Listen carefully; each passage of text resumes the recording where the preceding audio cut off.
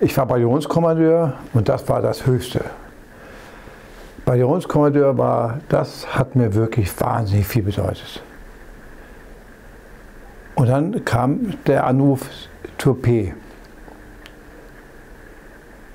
Ich habe nicht, meine Zeit warum? Zwei Jahre Bataillonskommandeur.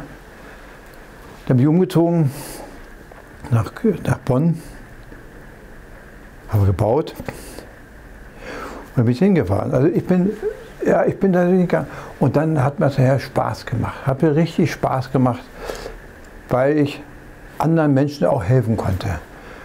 Da war ich verantwortlich für die Generalstabsoffiziere, Oberstleutnante, Oberstleutnante, Oberste und für Nicht-Generalstabsoffiziere Verwendungsgebiet 3. Und da bin ich so Oberst, zum Teil noch Oberst geworden. Meine Verwendung war nur Oberstleutnantsverwendung. Also es war, hat alles gepasst. Es war, ja, es machte mir Spaß.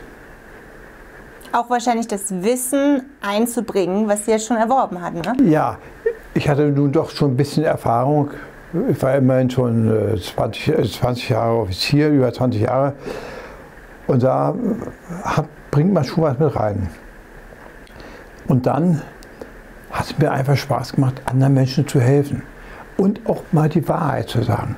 Es waren viele Vorgesetzte, haben sich geweigert, den, den Vorgesetzten, den, den Soldaten die Wahrheit zu sagen.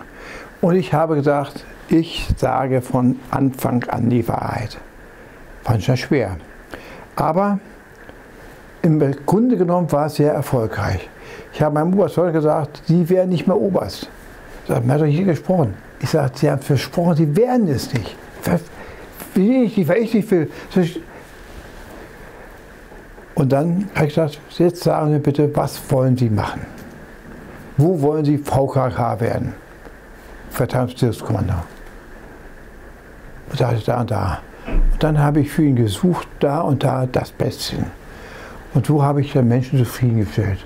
Und dann, das hat mir auch Zufriedenheit gegeben. Ich war leider nur zwei Jahre da. Dann war es da war ich schon nächste Veränderung.